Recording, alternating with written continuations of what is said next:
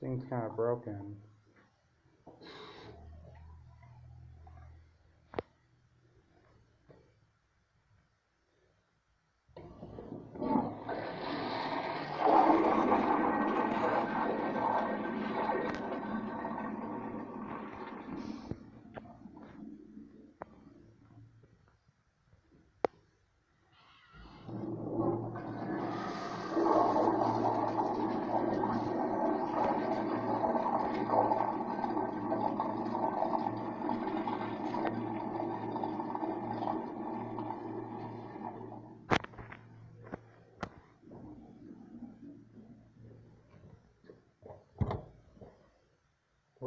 What is this?